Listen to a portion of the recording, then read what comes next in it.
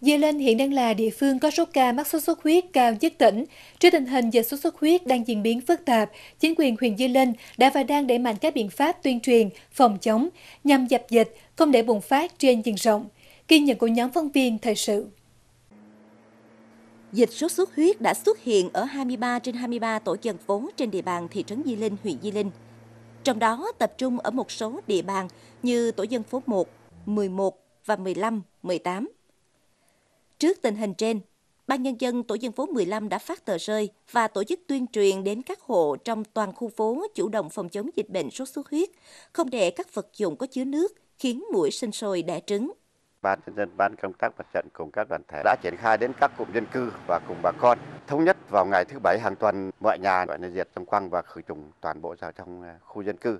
Để mà mà phòng chống dịch sốt xuất huyết tôi có là mua ở trung tâm y tế thuốc xịt mũi à, tôi đã xịt hết xung quanh à, nhà đồng thời là xịt trong nhà để phòng chống mũi ở những nơi mà có nước mưa động thì tôi cũng đổ hết và ở trong lưu mà gia đình có hứng nước để mà sử dụng thì tôi cũng cũng trong đó tôi cũng bỏ cá để để tiêu diệt lan quang.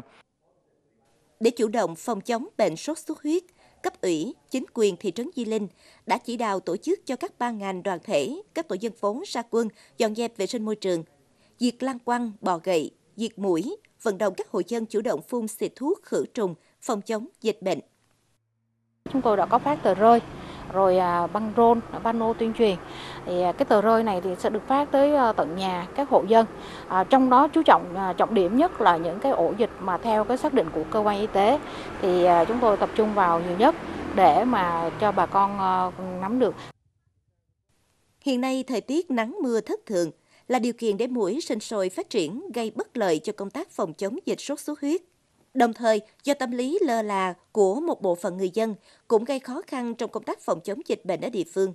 Bên cạnh đó, huyện Di Linh là địa phương có diện tích cà phê lớn, số lượng ao hồ chứa nước lớn, là môi trường thuận lợi để mũi sinh sôi. Huyện Di Linh đã ban hành nhiều văn bản chỉ đạo để các địa phương trong toàn huyện tập trung vào công tác phòng chống dịch bệnh. Đặc biệt, khi nghi ngờ mắc bệnh phải đến ngay cơ sở y tế gần nhất để được khám, tư vấn và điều trị kịp thời. Không điều trị tại nhà và thông báo ngay cho cơ sở y tế gần nhất khi gia đình có người mắc bệnh. Không có lăng quăng là không có sốt xuất huyết. Công tác mà diệt lăng quăng phòng ngừa sốt huyết là công tác của toàn xã của từng người dân. Việc mà diệt lăng quăng thì cần phải đảm bảo các tiêu chí sau đây.